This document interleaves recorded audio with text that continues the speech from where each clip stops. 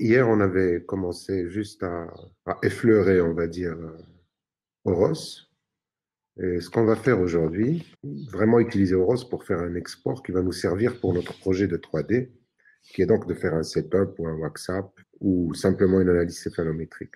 Alors, on va aller sur Horos. Ce que je disais, c'est qu'on va utiliser Horos pour euh, créer les points céphalométriques qui nous intéressent. Pour plusieurs raisons. La plus évidente, la plus simple, ce serait peut-être juste d'orienter le modèle.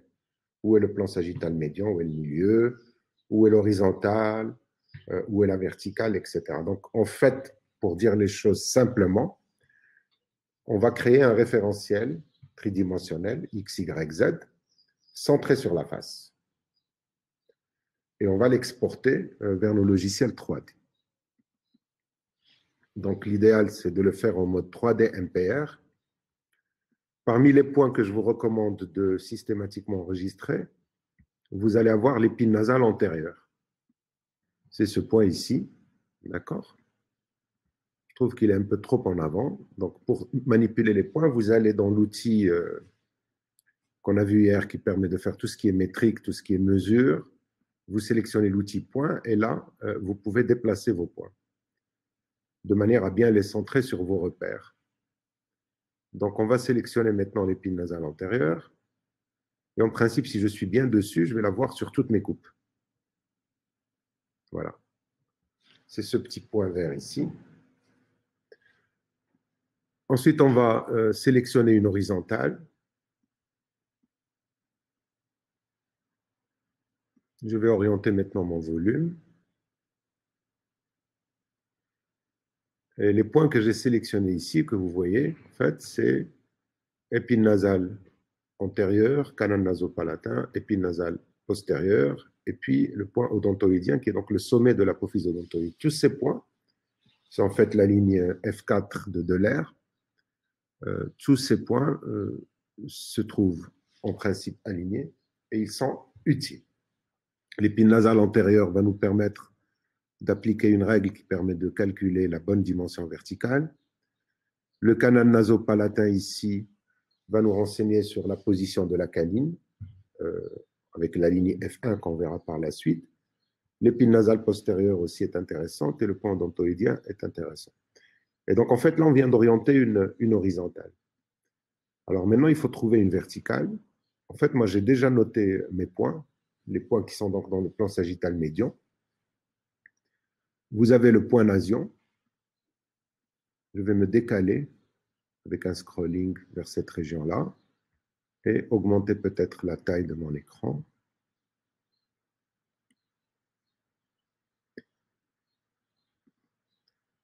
Les points que l'on voit ici sont euh, le point nasion. Je vais le, mettre ici, le nasion. Ici, c'est la projection du nasion au niveau antérieur. Il faudrait qu'elle soit un petit peu plus haute. Ici, on a le point M et derrière le point FM. Alors, pour les voir un peu mieux, vous pouvez mettre un peu d'épaisseur sur vos coupes, comme ici. Et de toute façon, tous les points que vous rajouterez resteront dans le plan sagittal médian. Hein. quand vous cliquez sur une coupe épaisse, euh, Horos place les points au centre de la coupe, donc sur le plan sagittal médian. Vous voyez qu'on a euh, renseigné ici les différents points euh, qui nous intéressent pour notre analyse. Si je me décale vers l'arrière, donc en faisant un scrolling sur cette fenêtre ici, je vais peut-être réduire l'épaisseur pour aller plus vite. Vous voyez, qu'on a aussi noté des points postérieurs, comme ce point euh, qui nous renseigne sur la position de la de l'apophyse clinoïde postérieure. Et en fait, la vraie horizontale pour de l'air, ça va être la ligne C1. C1, c'est M clinoïdien postérieur. Donc en fait, ici, je vois que je devrais euh, retourner ici. Voilà. Et maintenant, mon modèle est parfaitement orienté dans ce plan-là. Donc en fait, qu'est-ce qui manque? Orienter le plan frontal. Ce qu'on peut utiliser pour ça, c'est bien sûr les orbites. Alors on va se mettre en vue de face. Euh, juste une remarque, vous voyez ici que j'ai noté aussi le, centre du condyle, du condyle mandibulaire. ça va nous permettre de faire en quelque sorte un montage sur articulateur au niveau numérique, parce qu'on va indiquer, en fait, on indique par ces points ici l'axe charnière, et puis on les reporte sur le plan central ici aussi. Donc ce point, en fait, ce point qui est sagittal, en fait, permet de, transférer sur le plan sagittal l'axe charnière. On peut aussi, si on a euh, envie de travailler avec le plan de Compère, qui est très utile pour trouver le plan d'occlusion, marquer aussi le conduit auditif externe. Le niveau du conduit auditif externe. Alors je recule. Voilà. C'est à peu près à ce niveau-là qu'on est dans le conduit auditif externe. Alors, nos BIM sont limités. Il n'est pas question d'utiliser de, grands champs, en tout cas des champs plus grands que notre zone d'intérêt. Et donc, déjà, si on a les auditifs externes, c'est vraiment pas mal. Bien. Donc, ça, on a vu un peu hier comment on sélectionne les points. Et on a vu qu'on pouvait exporter ce volume. Alors, on va le faire tout de suite. Euh, vous fermez ce mode. En fait, quand vous fermez un mode, vos points, ils restent. Hein, ils font partie de la série maintenant. Et vous allez sur le mode 3D Surface Rendering. Vous sélectionnez une valeur relativement haute pour éliminer euh, un maximum d'éléments inutiles. Vous laissez un peu calculer la machine. Et là, on va avoir notre volume 3D qui va apparaître. Voilà, un volume 3D avec tous les points qu'on a sélectionnés. Vous pouvez les voir ici. Épine nasale antérieure, canal nasopalatin caché ici, nasion, point M, point FM. Tous les points font partie de la série. Et pour les conserver, vous devez faire un export ici, export, et utiliser le format .obj, webfront. Voilà. Export vous indiquez euh, la destination de votre fichier, vous lui donnez un nom et vous avez fini. Alors tout ça, moi, je l'ai déjà fait. Il faut euh, noter une chose importante, quand vous exportez ces volumes à partir de la radiologie, souvent, ils sont trop complexes. Il y a plein d'éléments inutiles. Donc, il faut passer par une phase de nettoyage que vous pouvez faire avec un logiciel comme Mesh Mixer. Je vous donnerai le lien à la demande. Mesh Mixer est très bon pour ce genre de choses vous dégraissez votre euh, fichier pour ne garder que les points et les dents. Euh, pourquoi? Parce qu'on va aligner dessus. Alors, on va aller tout de suite sur Blender et voir euh, qu'est-ce qu'on entend par alignement et à quoi ça sert tout ça. Bien. Donc, je vais fermer Horos. Je vais quitter carrément Horos et je vais maintenant ouvrir Blender. J'ai déjà exporté, enfin importé dans Blender l'ensemble des éléments utiles euh, que vous voyez ici. La face et euh, le, un volume dentaire et les éléments céphalométriques. J'ai déjà les collections orientées. Dans le fichier que je vous ai envoyé, vous avez tout ça, mais en fait, tout est déjà aligné. Hein mais je vais vous montrer la procédure d'alignement. Ici, on a plein d'éléments euh, qui viennent du même logiciel. Et en fait, quand ils sont importés dans Blender, ils sont exactement dans la bonne position, les uns par rapport aux autres. Mais pas dans l'univers de Blender, dans ce qu'on appelle le monde. Cette scène, ça s'appelle un monde. Elle a un référentiel à elle, X, Y, Z, etc.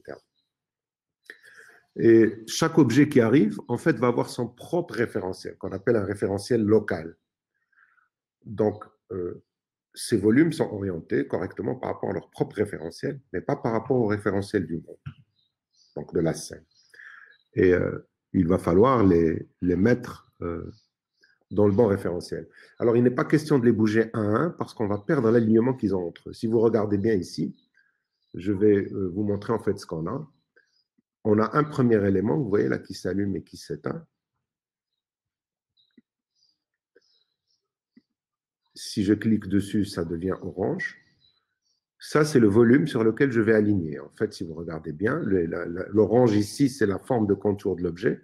Vous voyez qu'on a, euh, excusez-moi, je reviens, voilà, on a les dents et les points céphalométriques d'intérêt qui vont nous indiquer les différents plans ou nous permettre de faire notre analyse tridimensionnelle. Voilà. Ensuite, j'ai un deuxième élément qui, lui, a une valeur moins, moins intéressante, Mais bon, pourquoi pas.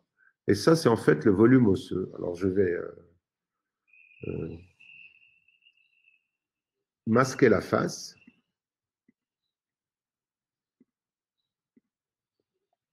Est là. On, appuie sur H, euh, ça suffit à la masquer, ou bien on clique sur le petit E ici. Voilà le volume dont je vous parle. C'est un peu le, le crâne hein, du patient. La face en tout cas, avec les orbites. Bien. Et euh, je vais le masquer, je vais masquer la face. Et ça, c'est le volume d'alignement à proprement parler. Je vous invite juste à remarquer qu'on voit euh, des petits reliefs ici sur la canine, les centrales et la 7.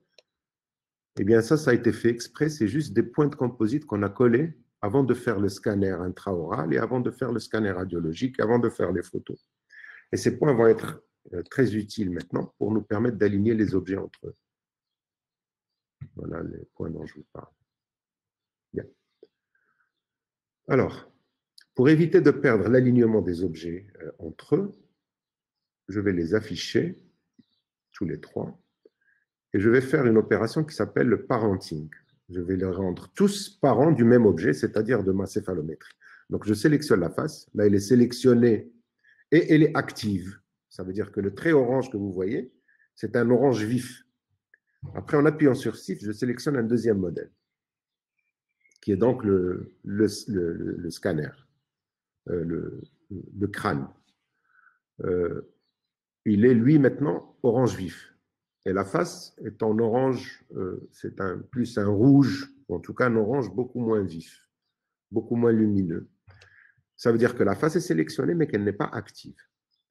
Et ensuite, je sélectionne un point céphalométrique qui permet donc de sélectionner tout l'objet euh, où il y a les dents et les points céphalométriques. Et maintenant, c'est ça qui est actif. Alors, très simplement, je vais euh, aller dans Objet, Parent, Parent Object. Et euh, il y a plus rapide, on peut juste faire Commande P. Ça, c'est le raccourci clavier. Vous avez les raccourcis clavier qui sont là. Et donc, euh, apprenez dès le départ à utiliser les raccourcis clavier, ça fait gagner un temps fou. Donc, je mets commande P, parent, objects and keep transform. Voilà. Keep transform, les, les transformations, ce sont les, déplacements des objets. Quand vous parentez et que vous gardez les, transformations, les objets ne bougent pas, hein, pour dire les choses clairement. Très bien. Maintenant, je peux bouger la face toute seule. Pour bouger les choses, on appuie sur G, mais ça, l'interface de Blender, je vous laisserai j'annule. Euh, je vous laisserai la découvrir euh, tranquillement. Hein. Je vous montre les grandes lignes, les grands principes, comment faire, et bien sûr l'aisance dans le logiciel, comment on bouge les choses, comment on les tourne. Ça, hein, vous devez vous exercer, bien évidemment. J'essaie juste de vous montrer la méthodologie. Euh, et vous prendrez le temps de vous entraîner comme il faut sur Blender. Vous avez le fichier, le même que le mien. Et n'hésitez pas à me contacter en cas de, difficultés particulières. Mais il y a suffisamment de tutoriaux sur YouTube pour que vous puissiez vous en sortir tout seul. Bien sûr, ça nécessite du travail. Fatima, euh, Bouchra, j'ai besoin d'un café. OK. Maintenant, ce que je disais, comme tout est parenté à cet objet, si je bouge cet objet, qui est donc mon volume de céphalométrie euh, dentaire, tous les éléments bougent avec. Mais si je bouge la face, qui est un enfant, ce n'est pas le parent, eh bien, elle bouge toute seule. Pareil, si je bouge ce crâne, il va bouger tout seul. Très bien.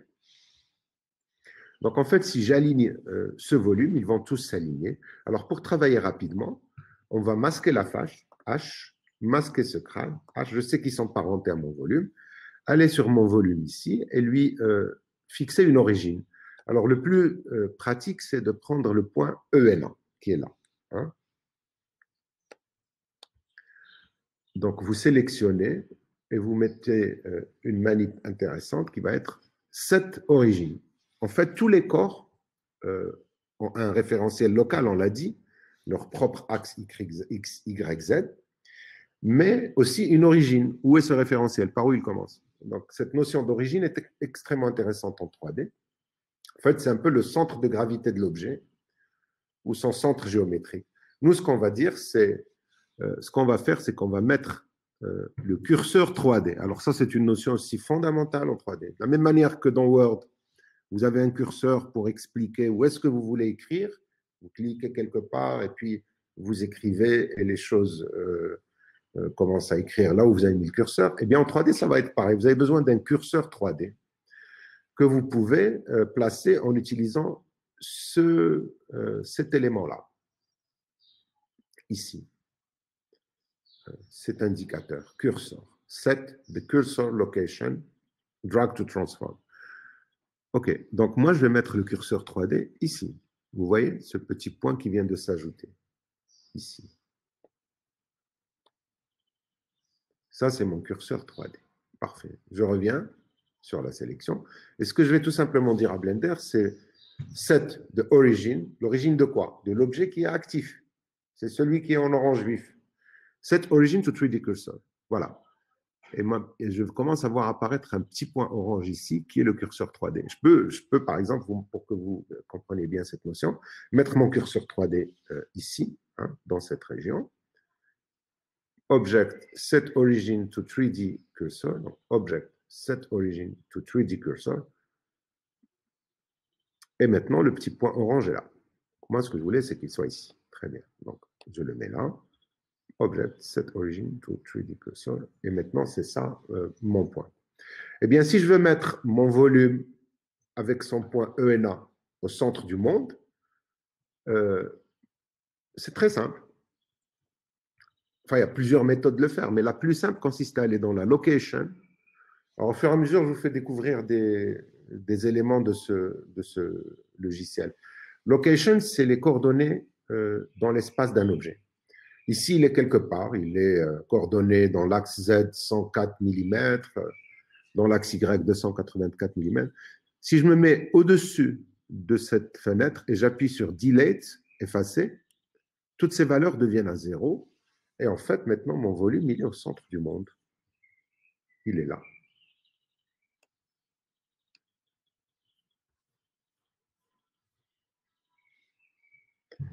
Très bien. J'attire aussi votre attention à quelque chose de très particulier, à tous les logiciels 3D en fait. Je vais euh, écarter cette fenêtre.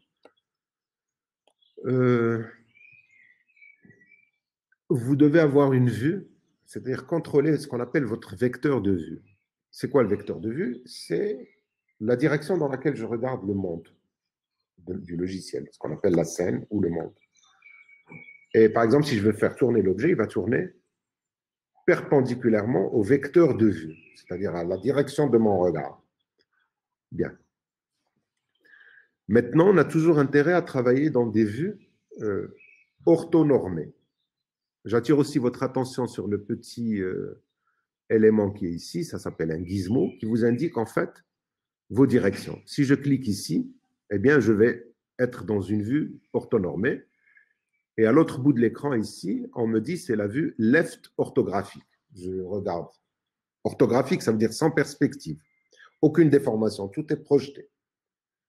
Euh, les éléments qui ont une même taille vont, euh, s'ils sont l'un derrière l'autre, même s'ils ont 1000 mètres entre eux, ils auront exactement la même taille. Mais dès que je vais bouger mon écran, vous voyez que le logiciel m'indique ici user, c'est-à-dire c'est moi, le responsable, perspective, j'ai de la perspective. Les éléments ne se superposeront plus. On va avoir un phénomène de perspective. Les objets les plus proches vont sembler plus grands. En appuyant sur la touche clavier 5, mais ça, ce sont des choses que vous devez... Euh, euh, comment C'est votre courbe d'apprentissage du logiciel qui vous permettra de maîtriser ces, euh, la manière de naviguer. Je vous explique juste les principes. Et donc, si j'appuie sur 5, je me retrouve en vue orthographique. Ça permet de switcher entre la perspective et la vue orthographique. Très bien. Alors, il y a des raccourcis clavier que je vous laisserai découvrir qui vous permettent de vous mettre dans des vues particulières. Par exemple, pour avoir la vue de face, il y a un raccourci clavier. Et là, je suis euh, de face par rapport à, mon volume. Bien. Maintenant que, que je suis dans cette vue de face, je vais pouvoir tourner ce volume pour aligner mes points céphalométriques avec les axes. Alors, on peut le faire à main levée, mais euh, Blender permet de le faire très vite en utilisant euh, en fait les touches clavier. Je vais taper R pour rotate. Regardez, euh, l'objet actif est orange. Quand je tape R pour rotate, il, devient blanc. Ça veut dire il est, il va avoir une action. Et si j'appuie sur X, rotate X, il y a un axe X qui apparaît sur l'écran. Je ne sais pas si vous arrivez à le voir en temps réel. alors ça, c'est l'axe X local de l'objet, parce qu'il n'est pas aligné avec l'axe rouge de ma scène. Bien, alors on va tout annuler et on va devoir parler de ce petit euh, élément ici. Ce petit élément euh, vous permet de dire, je veux bouger par rapport à l'axe, c'est-à-dire au référentiel local de l'objet. Hein. Quand vous êtes dans un train, vous avez le référentiel du train, vous pouvez aller en première ou en deuxième, vous êtes dans le référentiel du train. Pour vous, aller devant, c'est la première, aller derrière, c'est la troisième. Mais euh, dans le référentiel du monde, par rapport auquel vous bougez, eh bien, c'est pas la même chose. C'est pas le même référentiel.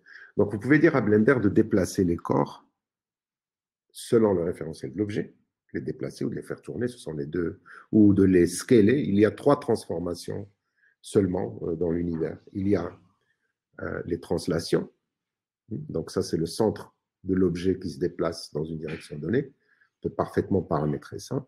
Il y a les rotations selon les axes du référentiel choisi, et il y a les, transformations qu'on peut appeler le scaling, la mise à l'échelle, c'est euh, de déformer des objets. Bouchra,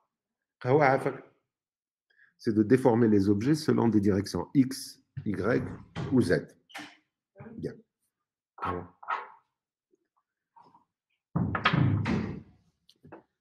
Alors nous, ce qu'on va faire, c'est qu'on va déjà choisir le référentiel du monde. Donc là, vous mettez global. Voilà. Et on va faire une rotation selon l'axe X. Alors c'est très simple. L'objet sélectionné, je le vois, c'est ce que je veux aligner effectivement, avec tous ces child, children, tous ces la face et, euh, euh, les éléments euh, dont il est parent. On a fait ça au début. Et donc, je vais mettre R, ça veut dire rotate, X, l'axe X. Et là, je, ne sais pas si vous voyez, mais on a un petit levier. Et ce petit levier me permet donc en fait de mettre mon volume dans la bonne orientation. Voilà, à peu près là.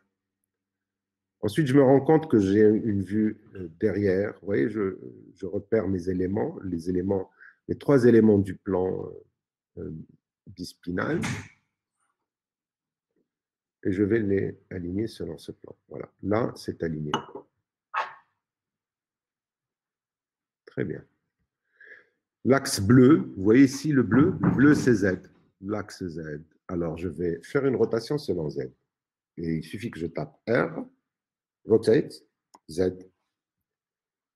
Et là, je tourne pour mettre mon volume de face.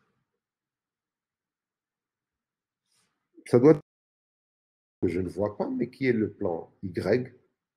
Donc, je mets R, Y. Très bien. Alors maintenant, selon ma vue de face, mon objet est relativement bien orienté. Peut-être que je dois euh, le tourner un peu comme ça et le déplacer selon l'axe X. Alors pour déplacer, c'est la touche G, grab, attrape. G et X, hein, pour qu'il bouge uniquement dans l'axe X, quoi que je fasse. Hein. Donc je le mets sur, je mets G, X, et je viens d'orienter mon volume de face. Ça ne veut pas dire qu'il est correctement orienté de profil. Alors je vais aller sur une vue de profil et euh, je vois que, alors si vous êtes gêné par les éléments, c'est facile de les masquer. Je prends le curseur de sélection, H, je vais masquer ces photos. Voilà. Je sélectionne encore mon objet, R, X, pour parfaire mon alignement horizontal. Voilà.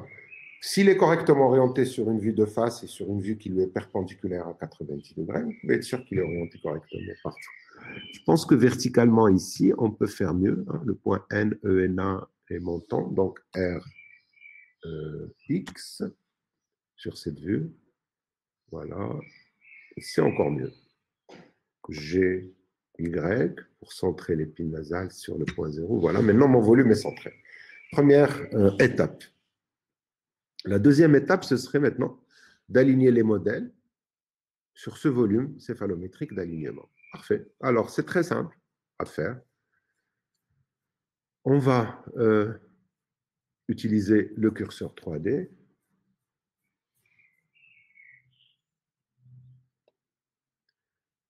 On va parenter le modèle mandibulaire au modèle maxillaire, comme ça ils bougeront ensemble, parce que si vous... Euh, donc je mets, je sélectionne le volume mandibulaire d'abord et le volume maxillaire ensuite. C'est le maxillaire qui est actif. Le mandibulaire est sélectionné. Si je demande un parenting, ça va parenter le modèle mandibulaire au modèle maxillaire. Donc, commande P, parent, and keep transform. Donc maintenant, le modèle mandibulaire peut bouger tout seul. Hein, il est libre, j'annule. Mais si le modèle maxillaire bouge, eh bien le modèle mandibulaire va le suivre.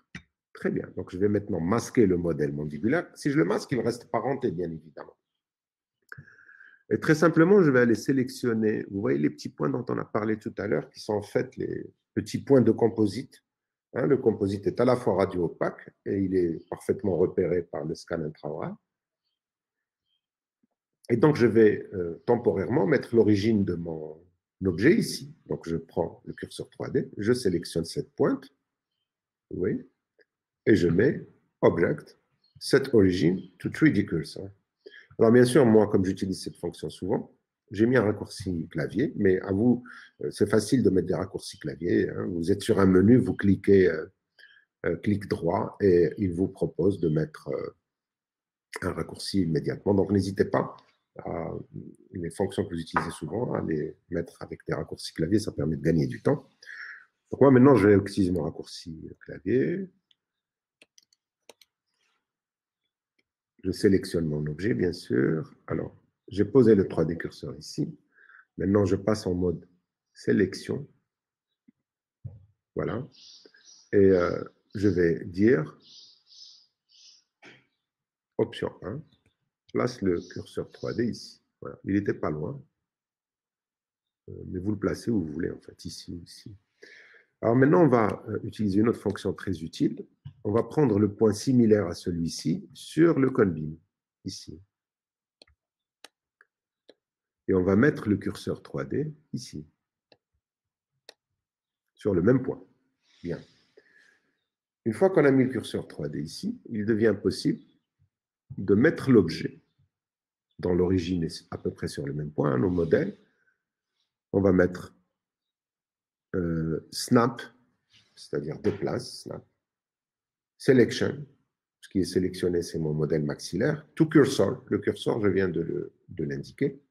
Et tout de suite, Blender met les, le modèle maxillaire à un point d'intersection avec le modèle euh, mandibulaire. Et après, on va faire de l'alignement. Alors, pareil, je me mets en vue de face. Euh, je choisis un référentiel global. Alors ici, il faut tourner autour de l'axe Y, Y d'abord. Voilà. Et puis peut-être euh, une petite rotation Z, peut-être. Ouais, ouais, il faut tourner RZ. Ah, c'est mieux.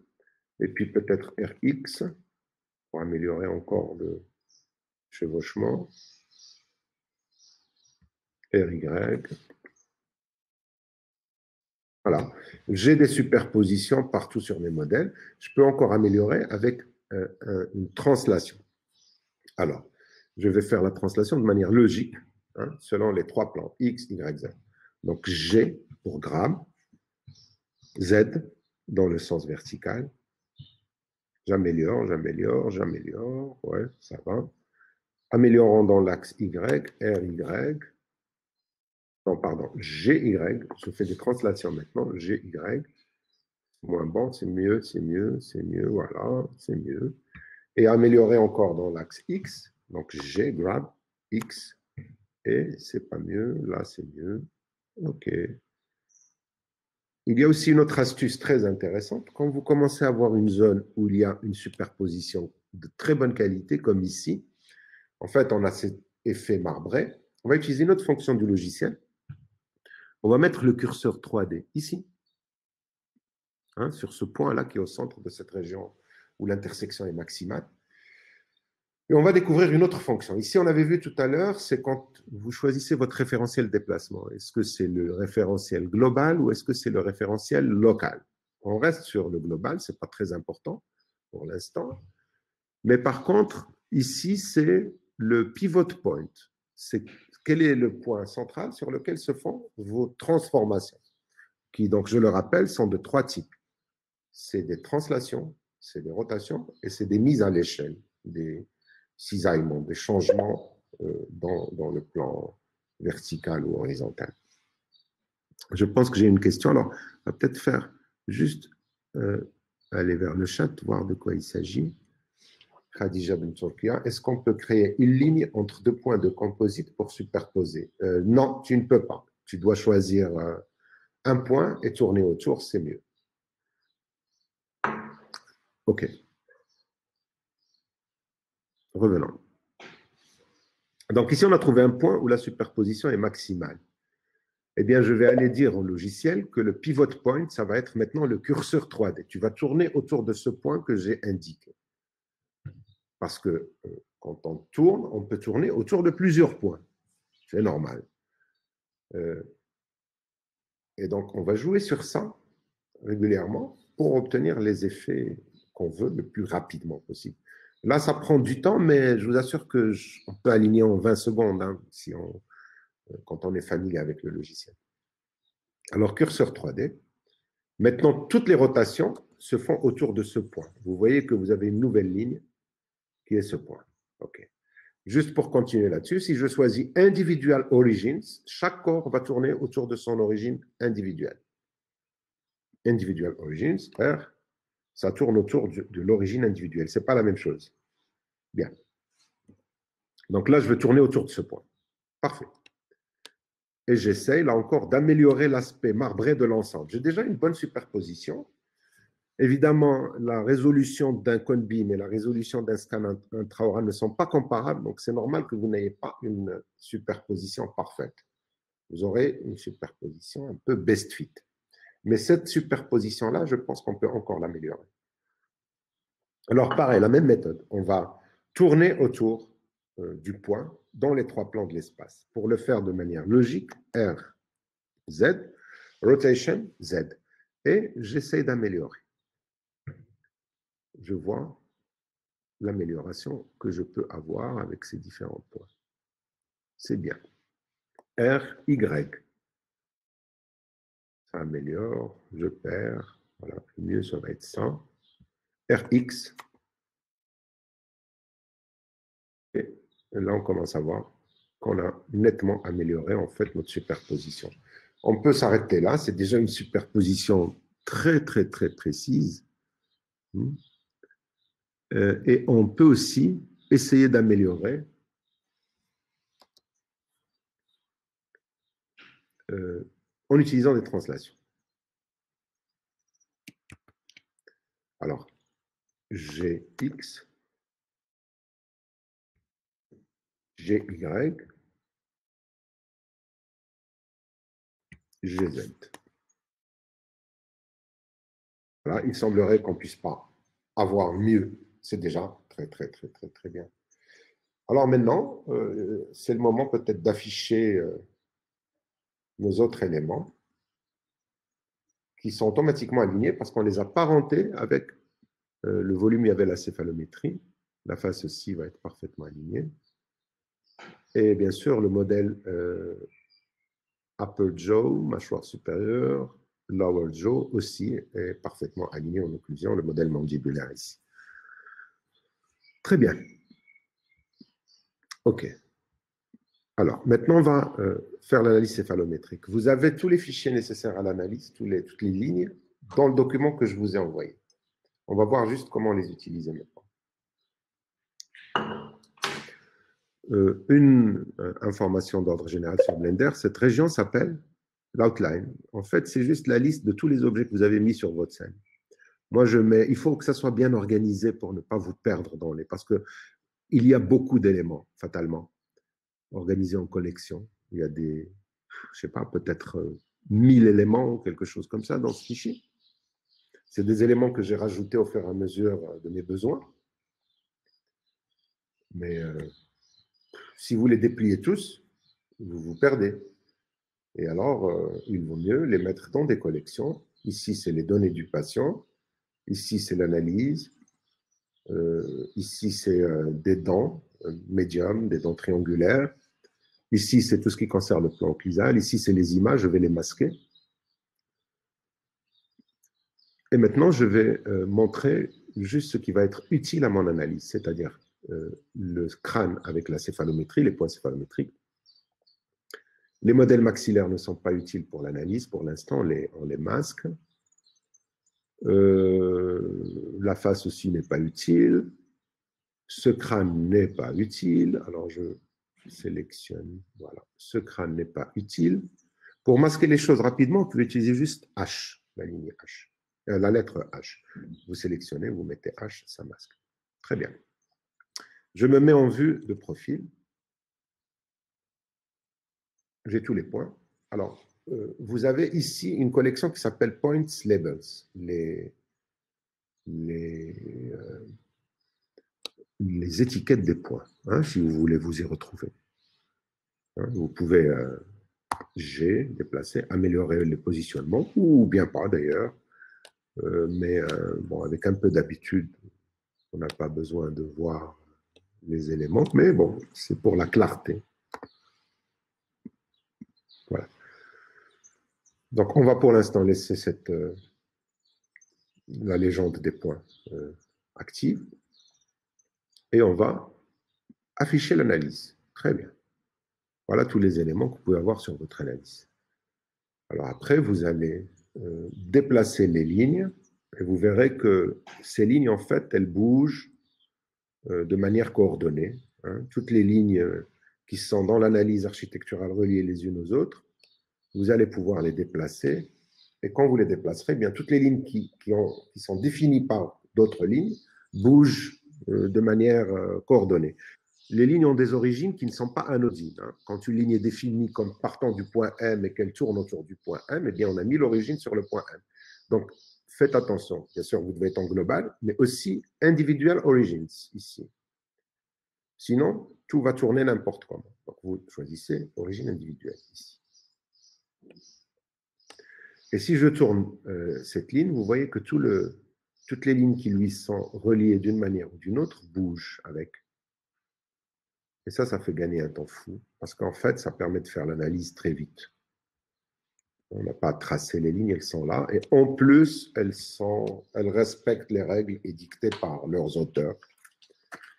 La sphère de Gola, par exemple, qui est une sphère centrée sur le point M et dont la largeur euh, euh, va du centre du condyle au point M. Eh bien, cette, cette sphère est pré-tracée je vais juste mettre son origine au point M, comme le recommande Gola. Donc G, vous voyez son origine, elle est là, c'est le petit point rouge. G, je la mets sur M. Et euh, je regarde où est mon condyle. Là. Donc S, scale. Et je me mets sur le condyle. C'était ça l'intérêt d'avoir exporté le centre du condyle tout à l'heure.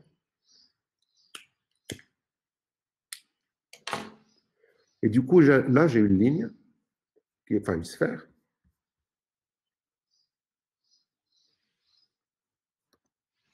qui me montre parfaitement la situation de ma courbe de Spie et de ma courbe de Wilson en 3D.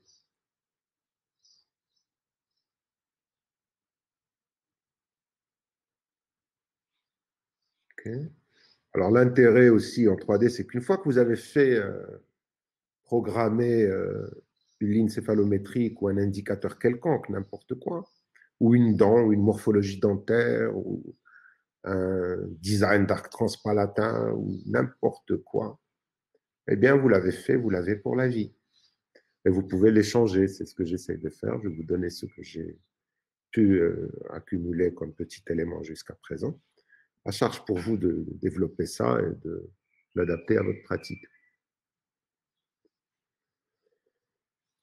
la ligne FM, F1 en fait, la ligne F1 de Delair. Elle passe par le point CPA. Elle doit en fait passer par le tiers distal de la canine. Alors, on va la mettre sur le point CPA. Et on sait, on peut dire que la canine est en avance de combien?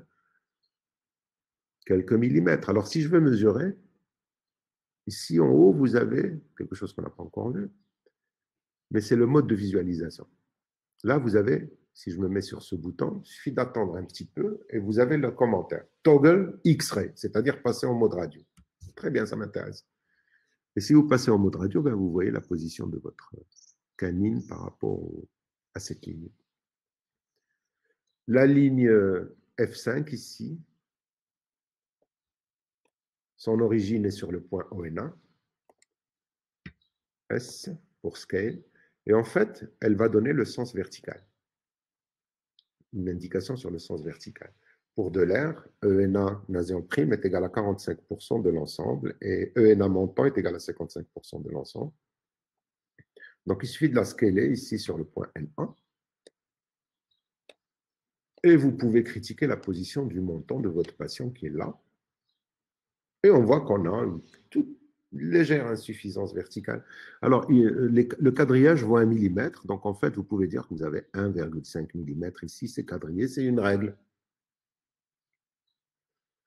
Vous voyez les choses directement. D'accord? C'est vraiment exceptionnel comme truc. Cette ligne, la ligne C4,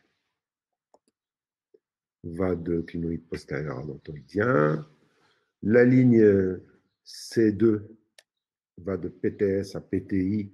En fait, comme on n'a pas le bregma qui fait partie de la définition originale, on l'a jamais sur nos conbines petit champ. Alors, on prend la définition PTS, PTI. Et quand vous la bougez, R, X, hein, pour qu'elle reste dans son plan, vous voyez que la ligne C3, qui va nous donner en fait la position du gonion, bouge aussi. Et euh, ça va vite, ça va très vite. C'est mieux de faire euh, les analyses. Même sur Keynote, j'ai arrêté de les faire, je les fais directement sur Blender. C'est beaucoup plus rapide en fait. J'avais développé quelque chose d'équivalent sur euh, Keynote que je peux vous envoyer si vous voulez pour faire la même chose sur des analyses 2D. Mais c'est lent. C'est lent. Hmm. Là, c'est vraiment rapide. Alors, bien sûr, il faut passer tous les écueils, euh, hein, la courbe d'apprentissage du logiciel 3D qui n'est pas très. Bon, qui est ce qu'elle est. On a aussi la ligne, le plan d'occlusion, ici, le plan de Camper, donc qui va de ENA à Porion.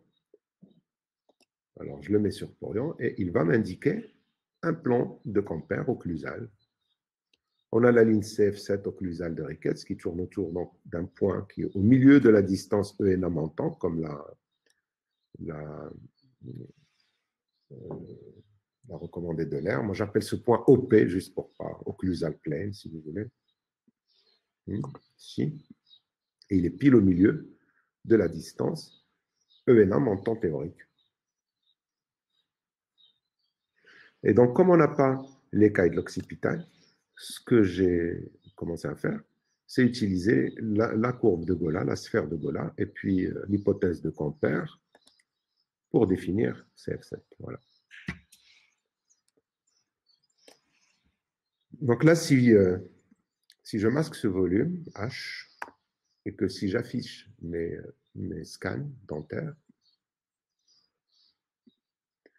eh bien, j'ai des modèles, j'ai réglé mon problème de façon et d'alignement. J'ai des modèles parfaitement orientés dans l'espace. Si je me mets en vue de profil, je peux continuer mon analyse céphalométrique sur modèle.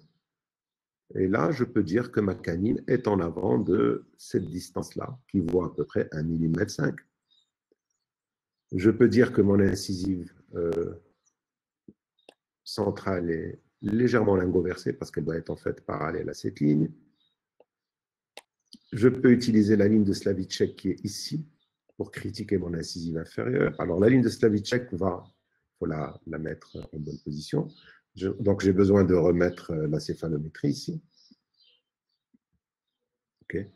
Le condyle est là, le centre du condyle est là. Très bien. Donc, je prends ma ligne de Slavicek, je la mets au centre du condyle. En fait, cette ligne représente un peu la direction de la rotation mandibulaire ça tourne autour du condyle. Et l'incision devrait être perpendiculaire à cette ligne. En fait, pas vraiment perpendiculaire, parce que euh, ça représente l'incision qui est un peu plus en propulsion, mais Slavicek nous dit qu'elle doit être entre 85 et 87 degrés, donc cette ligne est à 87 degrés. Et si vous voulez voir l'incision, masquer les pour aucun beam où on voit l'incisive et son axe, je vais tourner cette ligne, elle tournera autour de 100 points, et faire un scaling S. Et si je regarde maintenant euh, mon incisive inférieure par rapport à cette ligne, eh bien, je peux dire qu'elle est un peu vestibulo-versée. N'est-ce pas? Voilà l'axe de l'incisive inférieure, voilà où elle devrait être. Voilà, donc il y a une petite classe 2 que les incisives sont compensées de cette manière.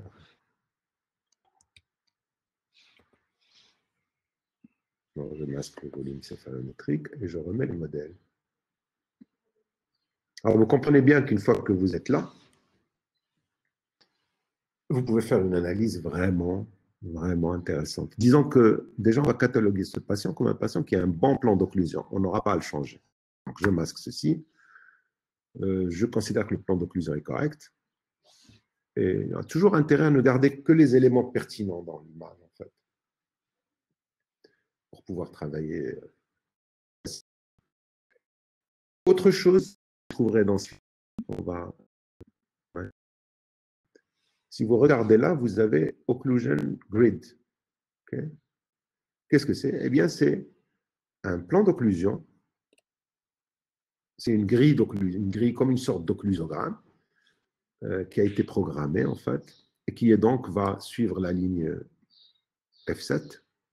Hmm, si je tourne F7 ici, R, vous voyez que mon occlusion. Donc en fait, c'est confondu avec Ampère, avec euh, tous les éléments. Et là, je peux me permettre donc en fait de masquer l'analyse, de masquer les étiquettes. Et je me retrouve dans une vue plus proche de mon besoin, de mes besoins, voilà, quand on va en vue occlusale, en fait, on, va voir les dents. Alors peut-être je vais euh, masquer le modèle maxillaire. Upper jaw scan en masque. Lower jaw scan, voilà. J'ai une vue où tout est réglé, tout est euh, droit.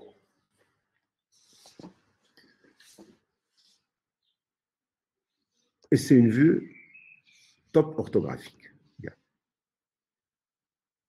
Mais si je veux une vue qui soit vraiment perpendiculaire au plan d'occlusion, à la ligne F7 de, l'air, pour avoir vraiment une projection sur le plan d'occlusion thérapeutique, eh bien là, vous allez devoir utiliser vos caméras. Alors ici, vous avez une autre collection, je vous ai mis dans le... J'ai mis une collection ici. OK. Choisissez, sélectionnez euh, le petit euh, symbole de caméra vert ici, top occlusal, caméra top occlusal. On va, on va masquer les caméras, on n'a pas besoin de les voir, mais par contre, on a envie qu'elles soient actives. Alors, on va sélectionner la top occlusal, celle-ci. Et maintenant, si j'appuie sur je suis plus sur euh, du monde, mais je suis sur les vues de mes caméras. Et cette caméra est perpendiculaire au plan d'occlusion. Ici, au coin, on avait des petits poteaux qu'on va voir si je bouge. Voilà. On a des petits poteaux. Euh, si vous bougez librement, eh bien, vous savez, grâce à ces poteaux, est-ce que vous êtes, euh, est-ce que vous êtes euh, droit ou pas?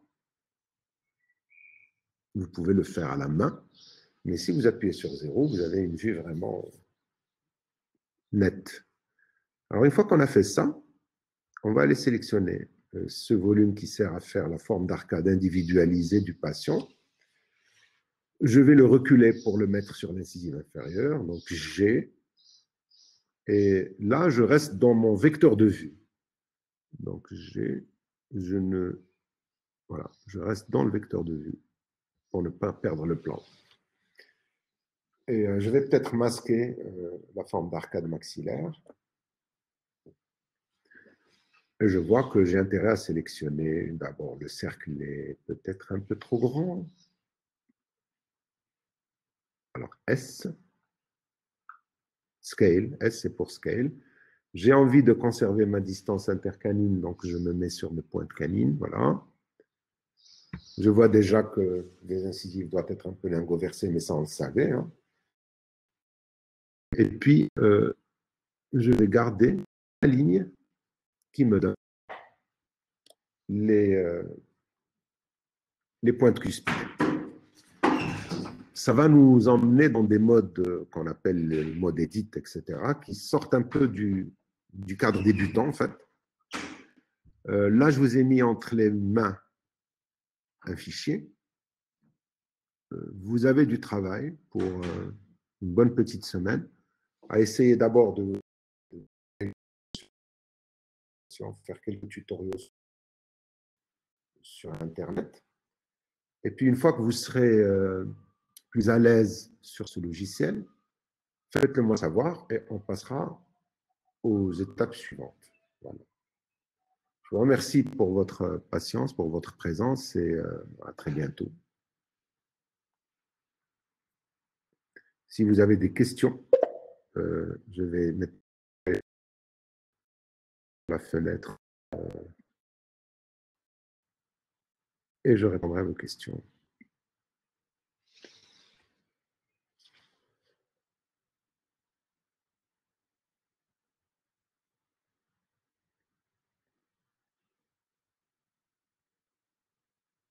Très bien. Donc, euh, voilà. Oui, je pense qu'on fera un cours euh, dans une semaine. Dans une semaine, comme ça vous aurez le temps de d'être un peu. Ben, faites-le moi savoir. Hein, faites-le moi savoir. Moi, je suis là. Hein, il n'y a nulle part où aller. Euh. Le WhatsApp numérique, je veux, bien, je veux bien en parler, si tu veux. Je veux bien faire un truc sur le. Ouais, je sais que tu es un peu avancé sur ce. D'accord. Alors, on va revenir sur Blender et on va euh, parler un peu du WhatsApp numérique. Effectivement. Très bien. Je reviens en vue de face.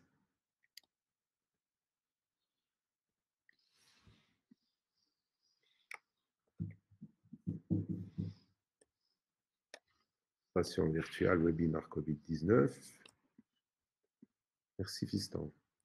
Ça, c'est la vue de face. Hein. vous voyez, le plan d'occlusion est incliné. En fait, c'est pour ça qu'on a mis des caméras. C'est pour pouvoir avoir des vues, mais nettes par rapport au plan d'occlusion, qui ont un intérêt diagnostique évident. En fait, les problèmes qu'on a dans cette discipline viennent du fait qu'on travaille sur des documents dans l'espace. Hein. on a juste une onde avec ses défauts de prise, le fait qu'elle peut être plus ou moins bien prise. Bon. On a aussi euh, euh, les photos. Bon, pas grand-chose, honnêtement. On a les modèles qui sont 3D réellement, mais qu'on a du mal à orienter.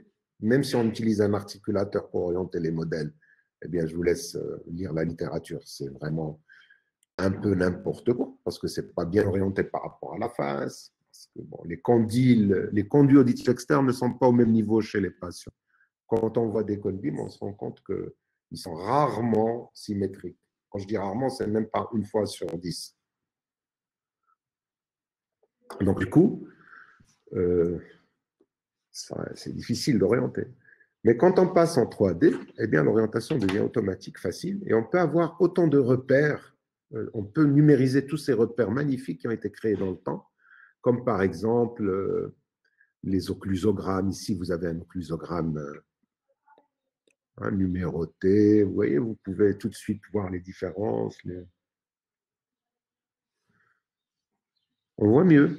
Tout le but d'ailleurs de la clinique, c'est d'augmenter notre, notre regard, qu'on puisse voir mieux, qu'on puisse voir correctement, qu'on puisse voir.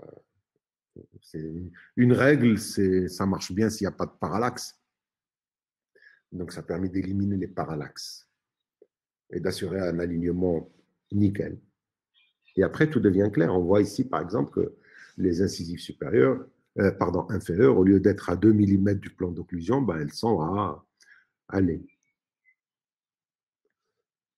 4-5 mm. Elles, mériteraient d'être un peu réagressées, les canines aussi, voilà. Maintenant, le WhatsApp. Vous avez une collection ici. Euh, on va prendre médium d'amise ici. Cette collection. Alors, toutes les dents sont ouvertes. Chaque dent est une collection. Et on va toutes les afficher. Alors, pour tout afficher, en fait, je vais désélectionner des, je vais désélectionner quelques collections, comme ça, elles ne feront pas partie du loup. on va désélectionner ça.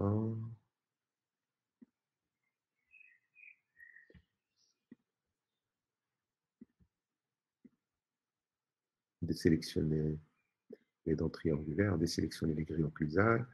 On n'a pas parlé de cette ligne Wilson-Spee, mais en fait, c'est quelque chose qui vous permet d'avoir, au lieu d'avoir un plan d'occlusion plat, un plan d'occlusion courbe, Hein, que vous pouvez euh, d'ailleurs euh, bouger en scalant en fonction de... Euh, c'est toujours la sphère de Gola. Hein. on est toujours centré sur le point M avec un rayon X, normalement du condyle. Mais ça vous permet d'adapter et d'avoir un plan d'occlusion comme en cas de besoin. Donc cette collection-ci, on va l'éliminer, on va pas en avoir besoin. Celle-là aussi, celle-ci out, les images out. Et maintenant, si j'appuie sur Option H, tout ce qui n'a pas été désélectionné, tout ce qui, fait euh, partie des collections actives, en fait, est affiché.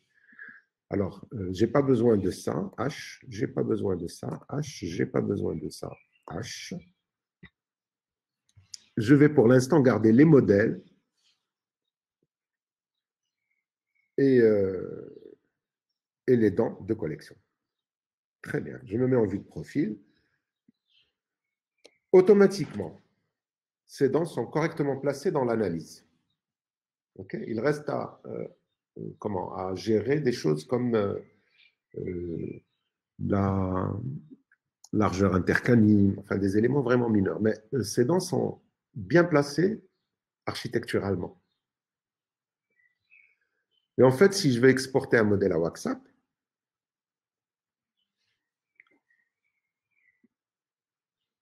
les informations de positionnement sont les suivantes. Je me mets en vue de face. L'incisive centrale, en fait, elle porte X, de la denture.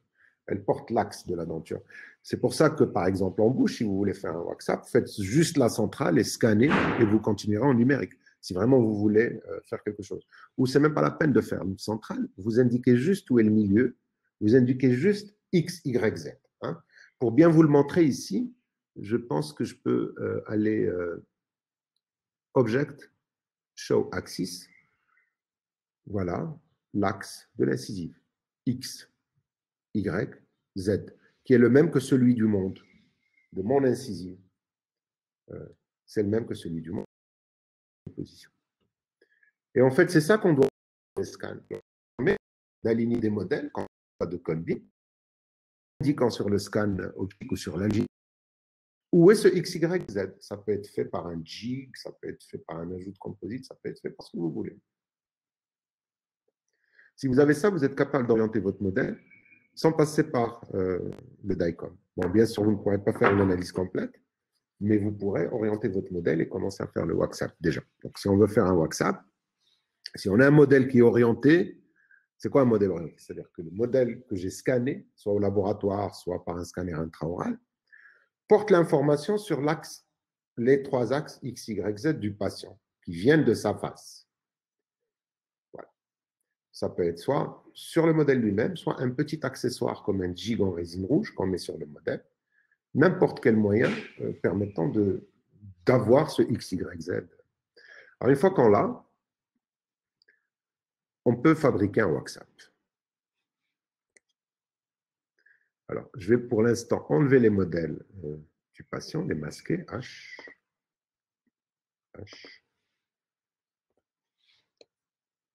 et voir euh, un peu plus particulièrement cette collection. Alors, je vais euh, effacer l'axe, euh, pas la peine de le voir. hein. En fait, c'est dans, vous voyez les traits bleus qu'il y a ici. Tout ça, ce sont des relations complexes qui ont été programmées entre ces objets pour faire en sorte qu'ils bougent de manière optimale pour nous permettre de faire le WhatsApp très vite. Pardon, le, le, le, le setup. Le WhatsApp, on va voir après, ça nous mènera vers l'edit mode, vers un mode d'édition. Mais déjà au niveau du, restons au niveau du déplacement des dents en tant qu'objet. Ici en haut, vous avez un mode qui vous indique que vous êtes dans Object Mode. Quand vous cliquez dessus, vous avez tous les modes possibles. Nous, on va euh, exploiter le mode euh, Object Mode, Edit Mode et Sculpt Mode. Pour l'instant, on est juste sur l'Object Mode. Alors, maintenant, si je bouge mon incisive, par exemple, dans l'axe X, je veux rattraper le milieu. X, alors je l'attrape, je la sélectionne, mon incisive, G, X. Vous voyez qu'elle écarte en même temps la latérale et qu'elle s'écarte de l'autre centrale et que l'autre centrale s'écarte de manière logique. G, X, je me déplace vers le milieu. Tout ça, c'est du temps perdu parce que la symétrie est assurée automatiquement, etc. Bon. Si j'incline mon incisive, je veux lui donner une angulation. Donc, c'est l'axe Y. Regardez ici le point vert. Je suis perpendiculaire à l'axe Y. Je mets RY. Et les conséquences sont tirées pour les autres dents. La continuité des points de contact est assurée, tout est assuré. Bien. Ça, c'est les dents du prémaxillaire. Mettons-nous sur le secteur latéral. Là, on a une canine. Euh, bien sûr, sa racine est indiquée hein, en pointillé. Pourquoi? Parce que la ligne F1 qu'on a vue tout à l'heure ne donne pas seulement la position de la canine, mais aussi son angulation. Euh, La, ligne F1 passe par le lobe, la cisure entre le lobe médial, le lobe moyen et le lobe distal, c'est-à-dire ici, et elle passe par le centre de résistance de la langue. Alors, si vous inclinez votre canine, les conséquences sont tirées pour les autres éléments. Bien. Si je bouge ma canine vers l'arrière, les autres éléments se déplacent aussi. Voilà. C'est un outil qui permet de faire des, disons, des, de la dimension montage de dents, quand, euh, quand les dents sont absentes, quand on rajoute des dents prothétiques ou des choses comme ça, de manière assez vite. Pareil ici pour les incisives inférieures, la ligne euh, F1 donne la position de l'apex, la ligne de Slavicek, l'inclinaison de l'incisive. Donc c'est normal que ces dents euh, doivent aussi avoir euh, sa racine, et quand vous la bougez, ben, toutes les dents bougent, les conséquences sont tirées pour le reste de l'arcade. Voilà. C'est comme ça que ça marche. Maintenant, euh, évidemment, pour utiliser cet outil-là, il faut, euh, ben, on va dire qu'il faut être relativement à l'aise avec Blender pour pouvoir faire ça. Mais honnêtement, c'est des choses que je ne trouve pas chez Exocad, que je trouve chez personne. En fait. Euh, c'est pour ça que je passe par Blender, en fait.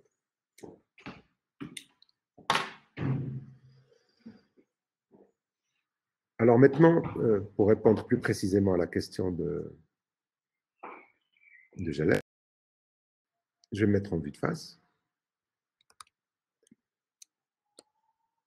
Je vais sélectionner juste mes deux centrales. Je vais appuyer sur Shift H. Alors Shift H va tout masquer sauf les éléments sélectionnés. Shift H. H, ça masque. Option H, ça affiche tout. Shift H, ça ne garde. Bonjour fiston, tu as besoin de quelque chose Tu veux suivre mon cours? D'accord. Shift H, en fait, ça, ça ne montre que les. Ça ne laisse sur la scène que les éléments euh, sélectionnés. Très bien. Alors, je sélectionne cette centrale là et je rentre dans l'edit mode. Edit mode. Et maintenant, ce que je vois ici, en fait, c'est la, la réalité mathématique de l'objet. Un objet 3D est créé par la mesure de points qu'on appelle des vertex. C'est les sommets. Ça, ici, juste à côté de l'edit mode, on a vertex. Je peux aussi, avec Blender, choisir de travailler sur les edges. Les edges, ce sont les côtés qui relient les objets entre eux. Ou alors sur les surfaces. Les surfaces, c'est, comme leur nom l'indique, ces petits triangles. Donc, chaque surface a trois edges et trois sommets. Et la base, l'élément de base qui a vraiment été enregistré, ça va être le vertex. Alors, on va essayer de changer la forme d'une dent avec cet edit mode. Vous remarquez que quand je sélectionne quelque chose, il y a un petit point autour. Pourquoi? Parce que j'ai sélectionné ici euh, édition proportionnelle, proportional editing. Ce que je voulais vous montrer en fait, c'est que euh, ça c'est une fonction vraiment très sympathique. Si je veux changer la forme de cette dent, je vais me mettre en vue de face.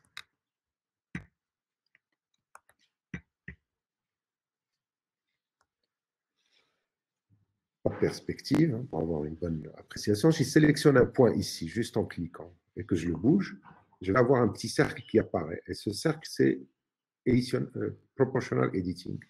Plus je l'augmente, plus en fait, je, j'augmente l'impact de ma modification. Et plus je le réduis, plus elle est, localisée, cette modification. Alors, il peut s'agir d'un vertex, un sommet unique, ou d'une sélection. Pour sélectionner, vous avez des outils, hein, qui permet de bouger les choses. Sélectionne toutes ces transitions. D'accord?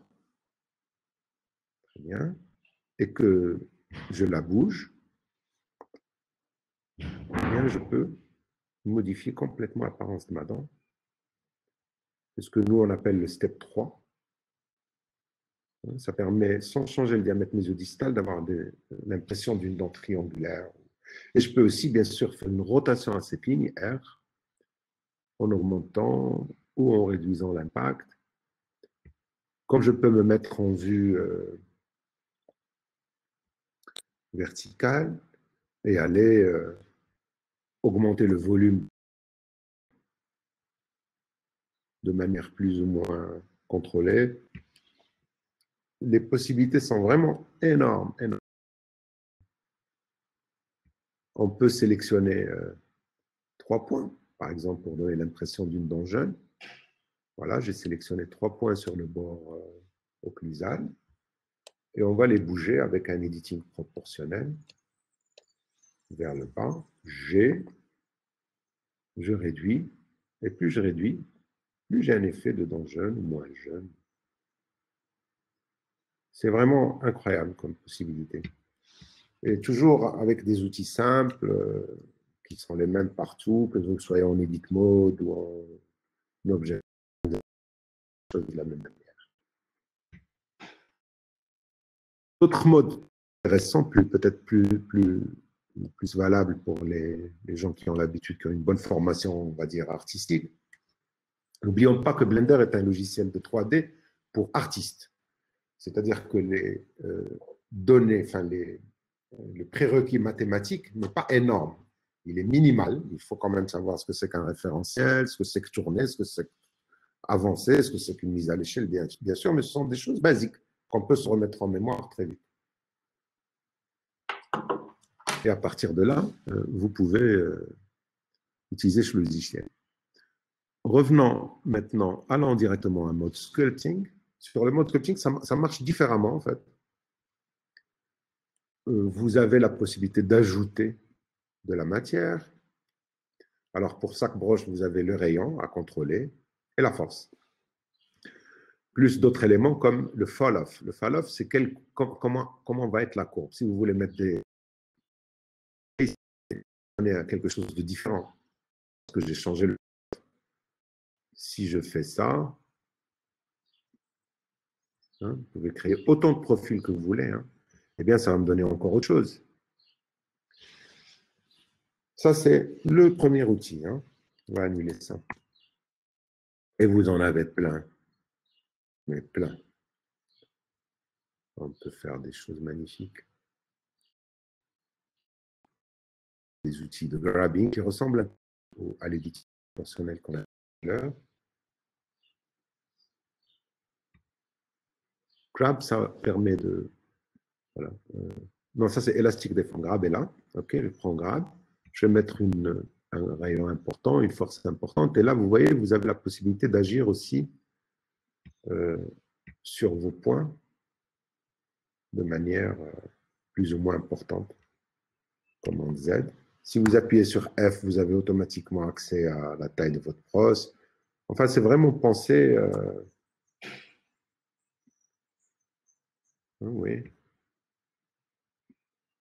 Je vous laisserai découvrir tout ça tranquillement, parce que je suis conscient du fait que, bien, comment? Tout ça nécessite une prise en main sérieuse, d'accord?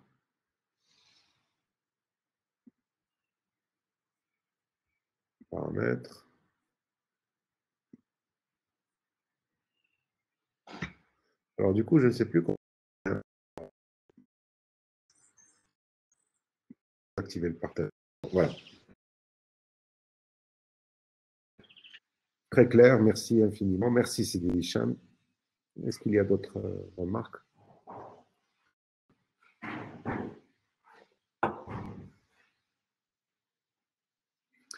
Oui, à bosser, oui, c'est du travail. C'est du travail. Mais c'est un plaisir. Le logiciel, l'interface est très belle. Euh, très performant. Ça va, on va directement euh, aux fonctions qu'on a besoin. Enfin, il faut savoir ce qu'on veut faire. Ça, c'est la première étape. Ensuite, savoir le faire. Ensuite, il y a des workflows qui sont hyper rapides, effectivement. Les autres logiciels, en fait, ils sont faits euh, pour des workflows existants. En fait, on veut vendre une solution à quelqu'un qui a la on ça se en gros. Hein.